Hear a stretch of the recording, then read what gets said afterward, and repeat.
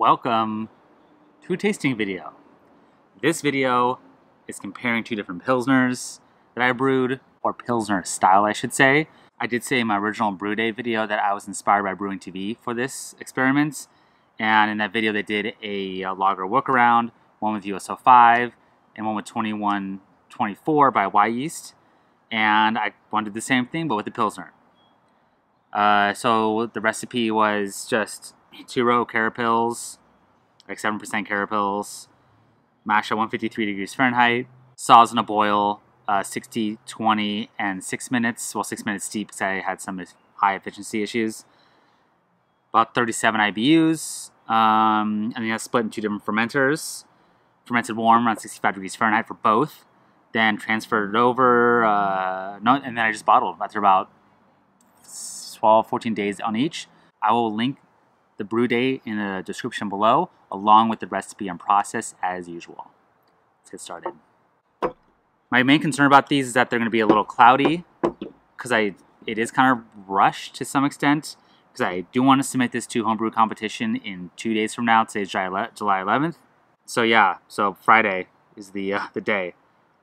I did this in a weird way too, where I split the priming sugar in half, meaning I did like my full priming sugar amount and then just eyeballed half into each batch to to uh, do priming sugar in and a little risky doing it, doing it that way. You should probably measure out for each one separately.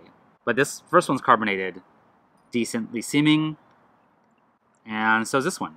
So it's good. so I'm gonna put them next to the, the caps here, so I know what's what. The clarity could still be a little clearer. For homebrew competition, I might get dinged for that, unfortunately. I'm going to submit it anyway. If that's my only knock uh, in the notes, I can live with that. Color is about the same on both. One's maybe slightly browner, but I can't even tell. So start with one on the right. I really, I'm curious to see if I can tell a difference blinding these. Nice, nice smell, nice grain smell a little honey, if anything. But I'm not getting any diacetyl. Slight metallic, which I did get dinged for on my Dunkel I did. So that could come back to bite me. But it's very minor. No hop aroma, which is fine, I assume. Slightly astringent, I think. But I don't know. I don't, know if I don't know if that's astringency or if it's just regular bitterness It has a slight watery metallic thing going on that I'm not a huge fan of. But it's not the end of the world. But it, I whatever that is, I might get dinged for that if I submit this one. Aside from that little bit off there, it's it's it's pretty good. And I'm being really really picky. This is still pretty enjoyable. The bitterness level I think is about right. I go a little higher maybe. I was a little concerned about that too. That 37 IBUs should probably go for 40, especially for competition, maybe even 41 or 2, just to really drive home that style. Bohemian Pilsners can be a little, little on the sweeter side. Um, and this is that. It's a little on the sweet side, but it's, it's fine. It's not unpleasant. Okay, one on the left. This smells like diacetyl a little bit compared to this one. I'm not getting any diacetyl in this. I think that's what that is. It's really hard to tell. Almost astringent or something in there.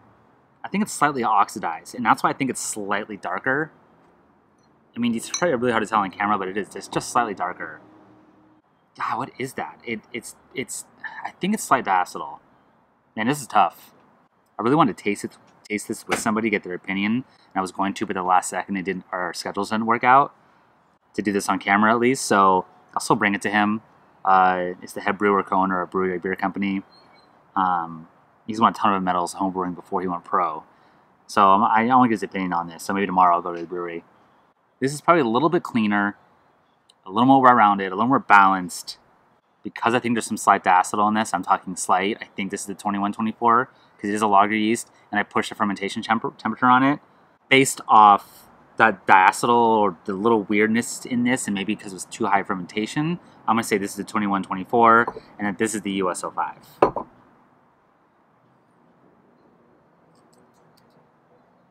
US-05. US-05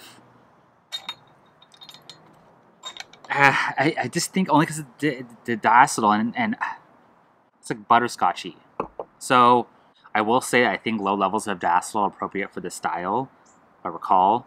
So this probably wouldn't would probably be okay, um, because it is I think it's low enough to be acceptable. I can only get it if I like go back to back on them. You know, by itself, it, I would probably get it, but it's it definitely it's it's subtle. But people who are really really sensitive to it, it could pop out. But I think I'm gonna submit the US-05 one mostly now just for shits and giggles, because I really want to see if I can get any decent score fermenting a pilsner with an ale yeast.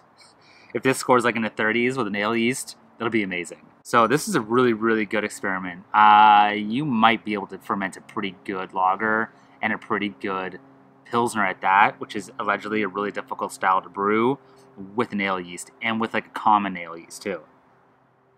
Really glad I did this. I want to try stuff like this in the future.